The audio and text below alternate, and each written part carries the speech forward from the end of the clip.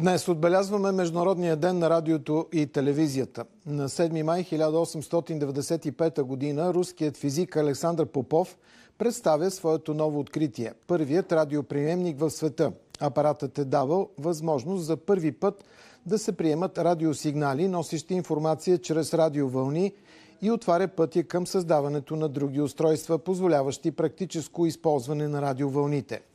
От една зала на университетската сграда Попов изпраща в друга зала думите Хайнрих Херц, които председателят на дружеството възпроизвежда на черната дъска.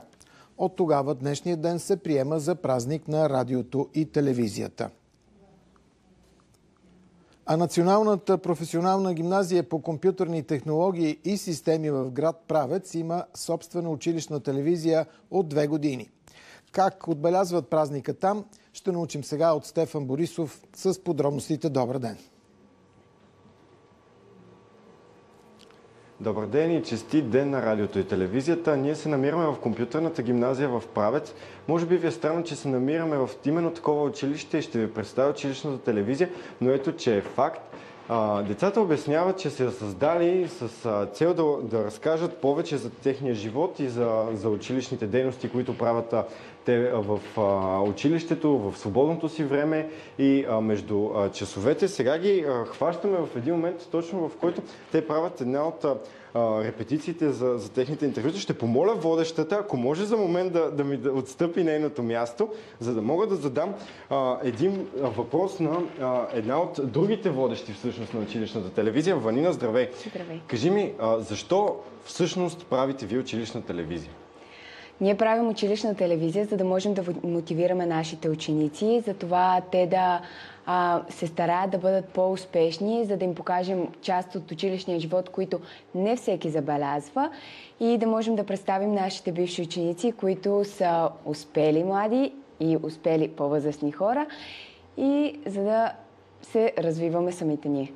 Какви, с какви хора правите интервюта? Какви истории те ви разказват? А, ние правим интервюта с бивши възпитаници на УКТЦ, а, които а, са се прочули с а, немалко дейности а, и го правим с а, цел да мотивираме, пак казвам, нашите ученици.